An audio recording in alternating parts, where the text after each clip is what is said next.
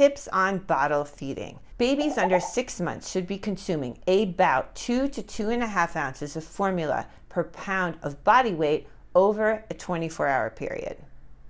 So if your baby weighs eight pounds, this equates to 2.6 ounces of formula per feeding.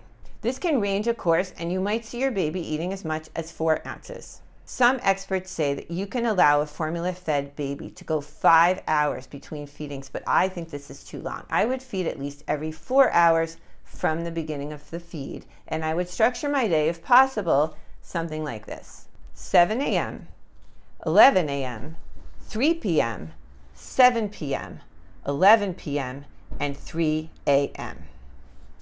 Don't forget to clean and sterilize your bottles.